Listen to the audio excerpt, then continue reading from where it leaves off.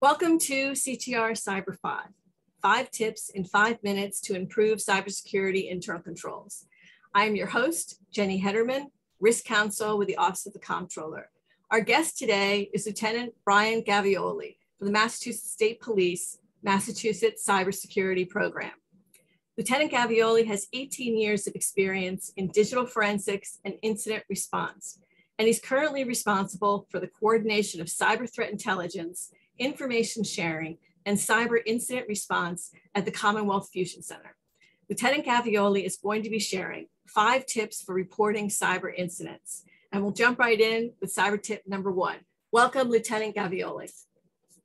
Thank you, Jenny. Cyber tip number one, establish relationships with your points of contact well in advance of a cyber incident and incorporate them into your organization's cyber incident response plan. The first time you contact your points of contact should not be during an actual cyber incident.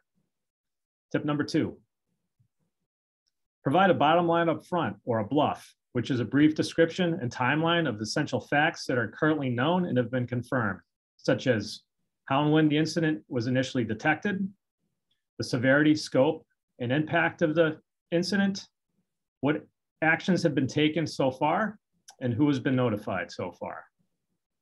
Tip number three, Report a cyber incident according to your incident response plan, including law enforcement if appropriate. Note that reporting to law enforcement does not fulfill any regulatory reporting requirements. Cyber tip number four. If law enforcement does become involved, they will treat the information and identity of the reporting entity as confidential and will not share it with any outside entities without getting permission first from the reporting entity. Law enforcement will not contact the media. Cyber tip number five. Practice and review your reporting protocols by or, utilizing tabletop exercises so they become second nature. Tabletop exercises can also help identify any gaps in your notification processes. Great.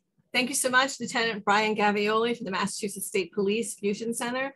For more information on cybersecurity internal controls and CTR Cyber 5, check out our cyber page at macomptroller.org. Thanks for watching CTR Cyber 5, and we'll see you again.